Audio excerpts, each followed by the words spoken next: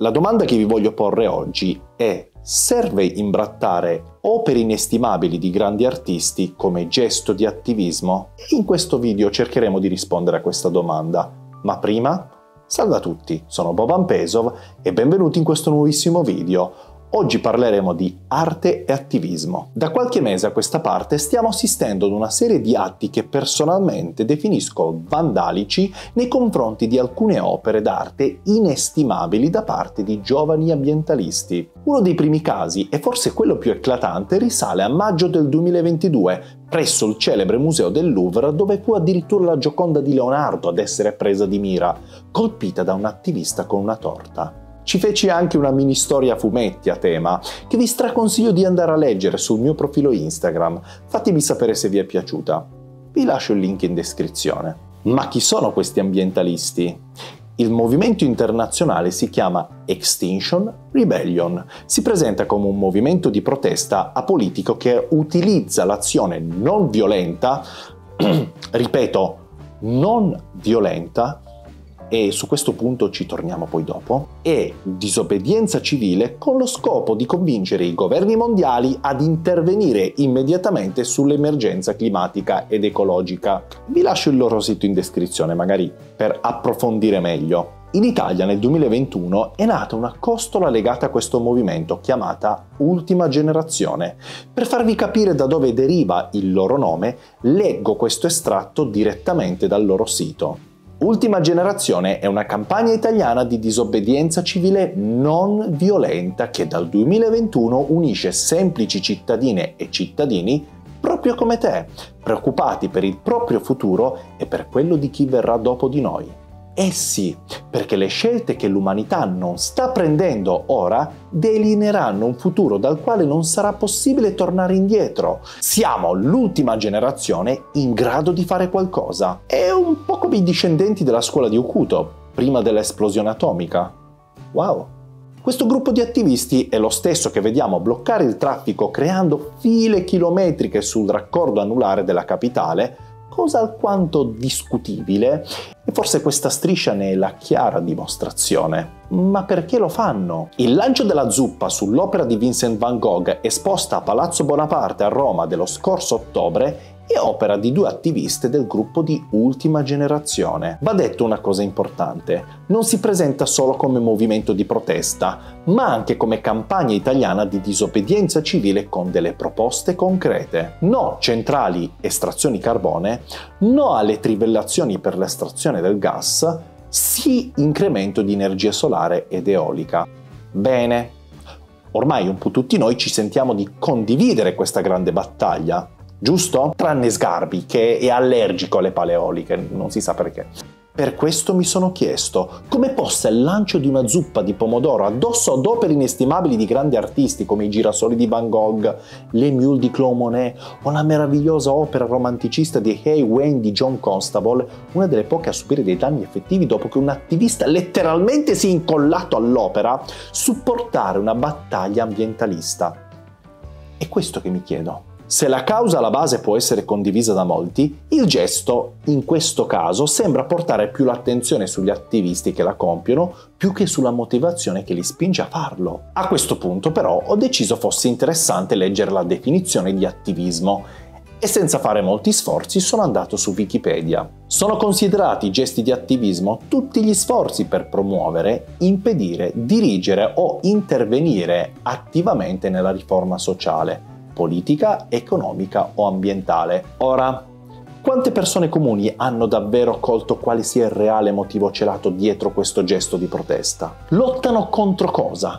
Come combattere il mondo? Penso che questi attivisti sembrino avere la presunzione di essere loro gli unici veri paladini che si stanno preoccupando del disastro climatico che stiamo affrontando mondialmente. Come se la politica non ci stesse mettendo abbastanza d'impegno o meglio, si stesse completamente disinteressando al tema, soprattutto in questo periodo difficile dopo lo scoppio della guerra in Ucraina. In questi giorni, durante la COP27 2022, ovvero la ventisettesima conferenza sul clima a Sharm el Sheikh in Egitto, presiedono 100 capi di Stato, tra i quali anche la nostra Presidente del Consiglio, Giorgia Meloni. Tra i temi della convention troviamo mantenere l'aumento del riscaldamento globale a 1,5 gradi centigradi, accelerando la riduzione delle emissioni. Lo stesso obiettivo, in realtà, era presente anche nella scorsa edizione del COP26 2021 a Glasgow, in Scozia. Proprio in quella occasione il documento firmato da 200 paesi si è posto l'obiettivo di decarbonizzazione entro il 2030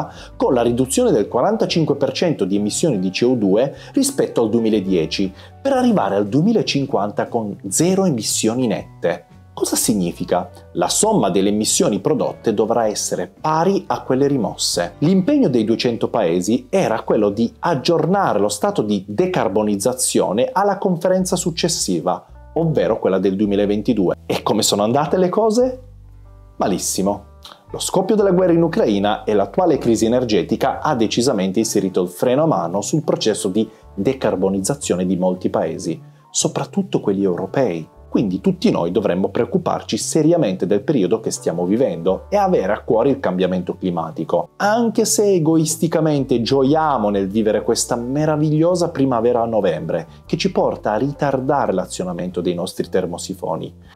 L'individualismo è potente in noi in questo momento. Sono un grande appassionato di arte e trovo il gesto provocatorio di lanciare una zuppa contro un'opera veramente rivoluzionaria come i girasoli di Van Gogh un atto estremamente violento. Per questo sento che sia proprio in contrasto con il concetto di disobbedienza civile non violenta. L'arte è sempre stata un mezzo di comunicazione e anche di dissenso e di protesta. Basti pensare alla Guernica di Picasso contro la violenza cieca dei bombardamenti e di tutte le guerre. Ed è ancora attualissima. E l'arte ha saputo anche rappresentare il problema del cambiamento climatico che stiamo affrontando. E dell'artista indiano Arun Kumar Dropping and the Dam, la scultura realizzata interamente da 70.000 tappi di bottiglie di plastica raccolti in tutto il mondo. L'artista è riuscito a creare un affascinante moto ondulatorio che riesce a trasmettere emozioni come solo la natura ci può offrire.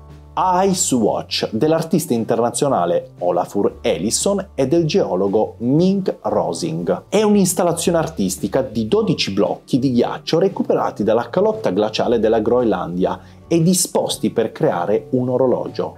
Rappresenta il tempo che passa e la temperatura che si alza. Lo spettatore interagisce con l'installazione, vivendo un'esperienza visiva acustica unica.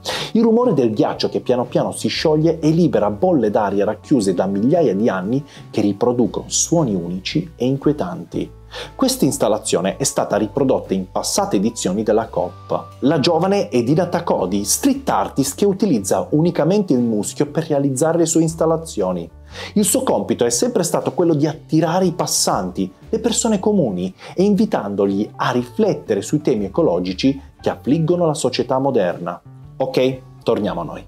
Cari attivisti, Visto che avete tanto bisogno di lanciare delle zuppe confezionate, non fatte in casa con le verdure chilometro zero dell'orto della nonna, ricordiamolo, per ottenere la nostra attenzione, perché solo voi avete il desiderio di apportare cambiamenti nella società verso un bene più grande percepito, sempre e solo da voi, cosa ci volete trasmettere? Nonostante vi dichiariate campagna italiana di disobbedienza civile non violenta, fate un gesto comunque violento.